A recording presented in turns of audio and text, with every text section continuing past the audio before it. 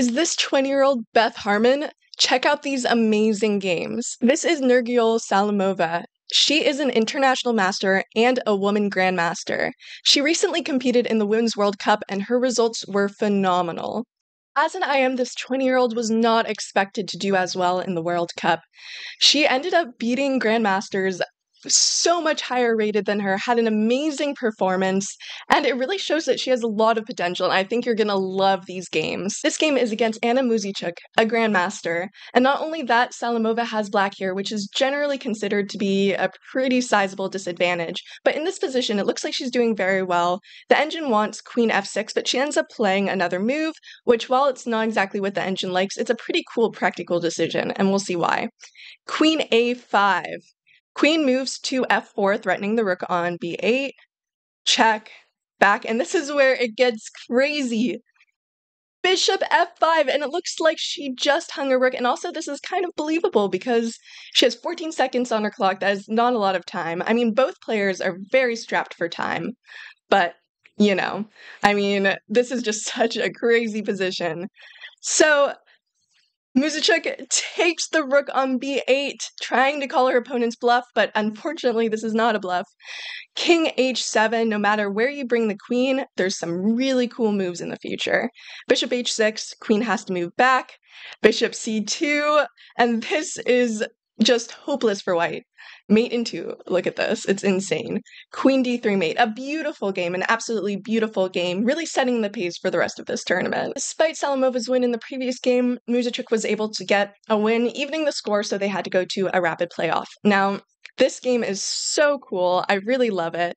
As we see, Salimova has white now. Rook c8. Queen goes to e2. Bishop d6, trying to entice a trade. The bishop moves to h6. There's no castling in the future for black. This is a really interesting choice. Knight down is aggressive, but it doesn't actually end up working because now you have the best move, which she does, rook d1. Queen back, we really appreciate all the aggressive moves. That's what I really love about rapid games. I think you get some like really cool attacking games and some very interesting tactics like we're about to see. d5. Bishop takes. This is just not strong, but at the same time, there's not a lot black can do here. Like, this is such a tough position to play. Of course, with the engine, it's easy to be like, ah, this is a bad move, but this is so tough, and it really just shows how well Salimova is playing. So then we get Rook c5. This is a pretty tough move. It's a pretty tough mistake, but also Salimova has to know how to take advantage of it. Bishop b5 check. King moves over. Bishop tries to threaten the rook. Rook moves back. This is tough. This is so cool. Next, we have the rook sacking the exchange on d5. d5, and the really cool move is you really just can't take here because, I mean, it, it's it's just going to be a mess, and you'll see why.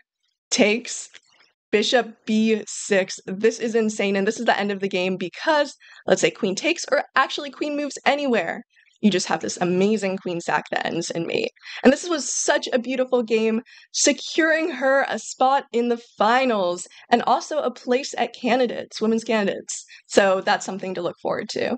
This is the finals, and it's Salimova against Goryachkina, and she is one of my favorite players, just a really great, strong GM, very, very interesting games. I recommend looking at her games. But this is this is a tough position because here we see Rook takes, and white has a bit of an advantage here. White's pieces are a lot more active, black is uncastled. But it's not super easy. Great move. She's playing very well. Bishop e6 moves back, threatens queen, so the queen has to move. There's no taking that knight there. And now the knight has this beautiful outpost on c6. This is just very good. Knight moves back. This is this is all so strong, so strong. So knight takes f5, best move, takes back, and now you have the queen moving in for the kill. White's pieces are so much more active. Pass pawns on A and B. This looks amazing. And she's just playing so strong here, just taking another pawn. So now bishop takes h2, and I think we see her start to get maybe a little scared or maybe uh, just a bit worried. King h1, queen tries to move in. Some really good counterattacks for black who hasn't had a lot of counterplay this game. Queen back. Um, you you could tell by the queen trade. Like this would be better for Salimova, but obviously Goryachkina is not gonna not gonna go for it. Here moves back, and unfortunately, Salimova makes the decision to take the bishop, which according to the engine, she should have moved something like um, Rook b1, protecting all of her pieces, and she would have just been absolutely dominating with these two passed pawns. That being said, it does look pretty scary. It looks like there could be a lot of difficult choices in the future if you do do that. She also was pretty low on time here.